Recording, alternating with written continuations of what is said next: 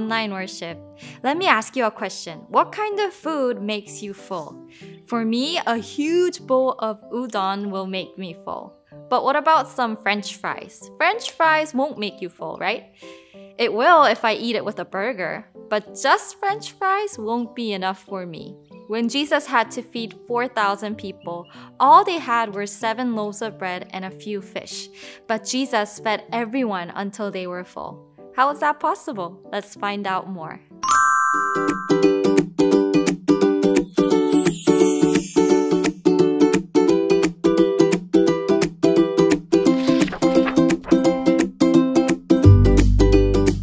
Today's passage comes from Matthew chapter 15 verse 35 to 38. He told the crowd to sit down on the ground. Then he took the seven loaves and the fish, and when he had given thanks, he broke them and gave them to the disciples, and they in turn to the people. They all ate and were satisfied. Afterward, the disciples picked up seven basketfuls of broken pieces that were left over. The number of those who ate was 4,000 men, besides women and children. Amen. Jesus had been traveling with his disciples, and they went along the Sea of Galilee. Jesus went up on a mountainside and sat down. So many people came to see him, including those who were paralyzed, blind, injured, and unable to speak. People laid them at Jesus' feet, and Jesus healed them.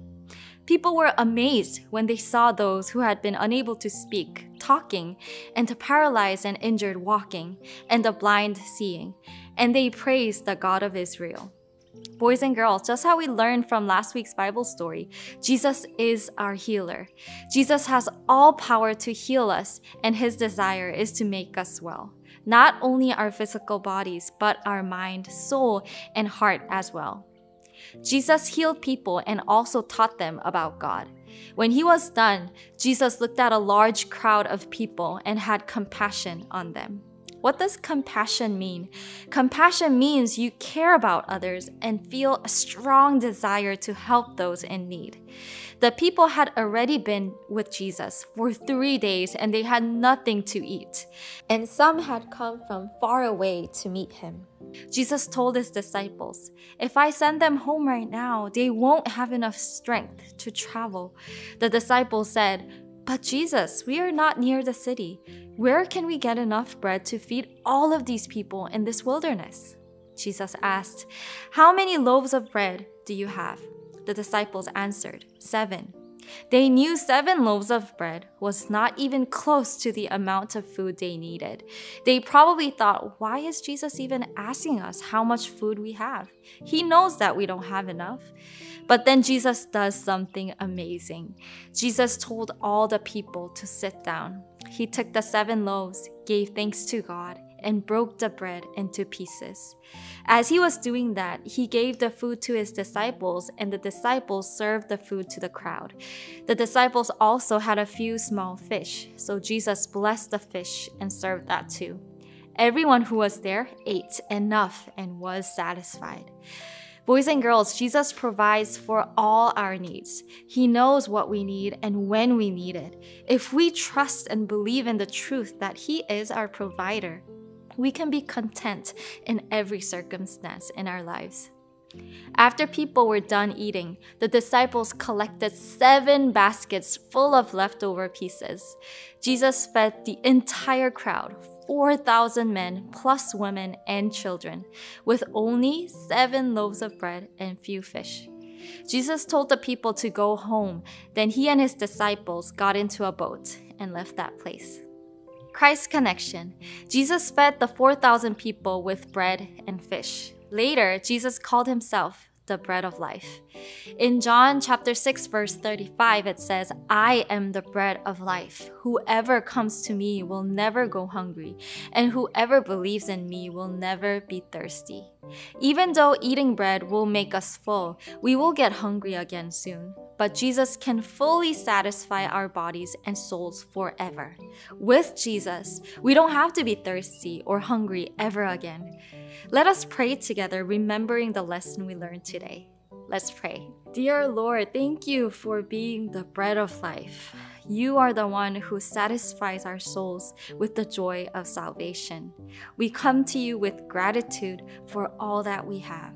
We love you and we praise you, and in Jesus' name we pray. Amen.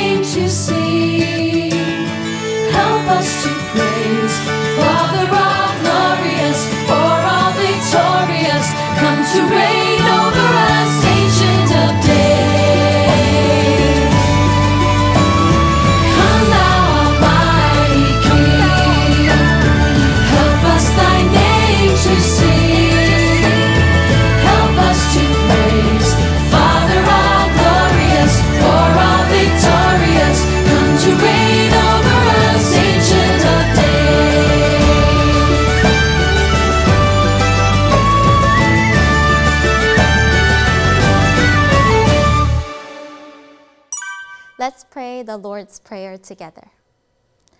Our Father who art in heaven, hallowed be thy name. Thy kingdom come, thy will be done, on earth as it is in heaven.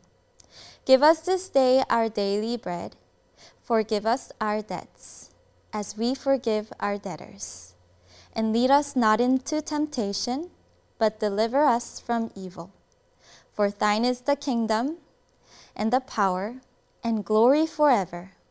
Amen.